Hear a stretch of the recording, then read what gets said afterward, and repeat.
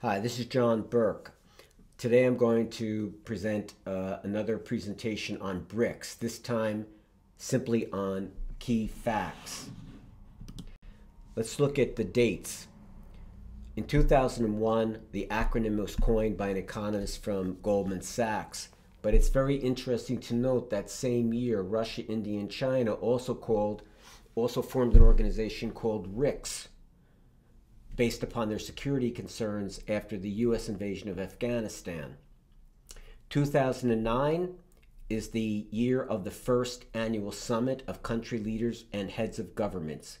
We can state that 2009 is the formal introduction of the BRICS group.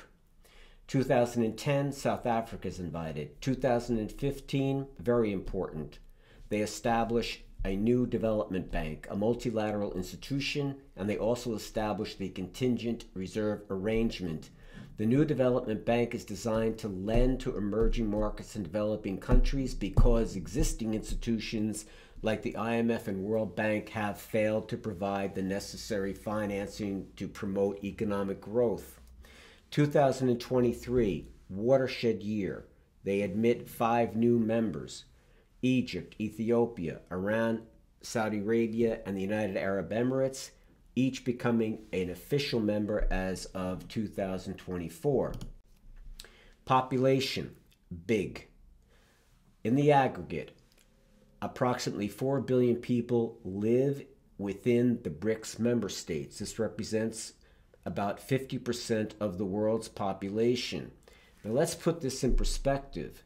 The United States has 340 million people. But the United States economic, military, and political weight is incredibly large. But it is out of, it is not coordinated with its population size. Economic size of the BRICS, again, very significant. In the aggregate, 31 point trillion compared to uh, 45 trillion for the G7. While the group in the aggregate, including the new members, is still smaller than the G7, these countries are growing at faster rates than the existing G7 countries.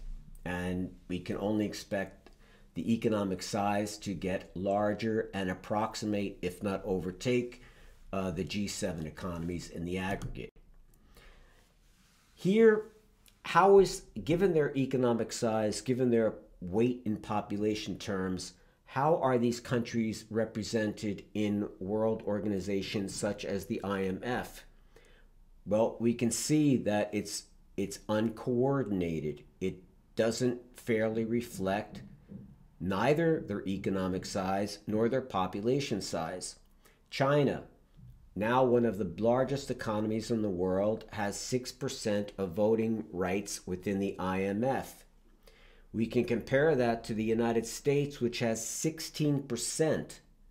So if we simply add together the voting weights of the original five countries, it's less than the voting weight of the United States. It simply doesn't make any sense.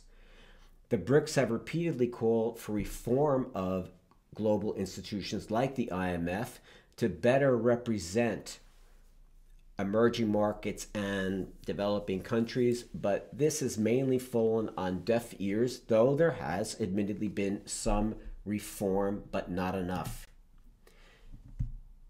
This slide makes it clear.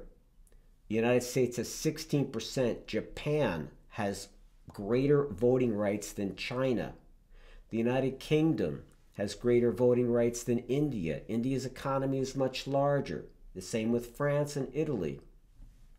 It is not reflective of economic or population reality. The new member states, I just want to talk about their resources. I'm not going to say why they were admitted. I'm not going to predict what will happen in the future, but it is noteworthy about the importance of resources. Ethiopia has water. It also has an incredible amount of natural gas, but it's been unexploited to date, and it has minerals. Egypt, arable land, farming, also water. Again, natural gas and petroleum, fossil fuels. Iran is amazing. It has an incredible range of resources from fossil fuels, minerals, arable land to food. Saudi Arabia, needless to say, petroleum, national, natural gas, but also important minerals. United Arab Emirates, petroleum, arable land, and also they are taking advantage of their climate to produce solar energy. BRICS future. Impossible to predict. But if we look at the past, we can say some things about the future that might be realized. Since 2009, or even earlier, inter-BRICS trade has increased significantly. We can expect increase in trade with the new members. The new members, over time, will be integrated into the BRICS intra trading system. This will allow those economies to uh, develop faster, to become larger, to become more modern. And it can be expected that countries uh, like China will be investing uh, into these economies in order to improve their economic uh, position. Thank you.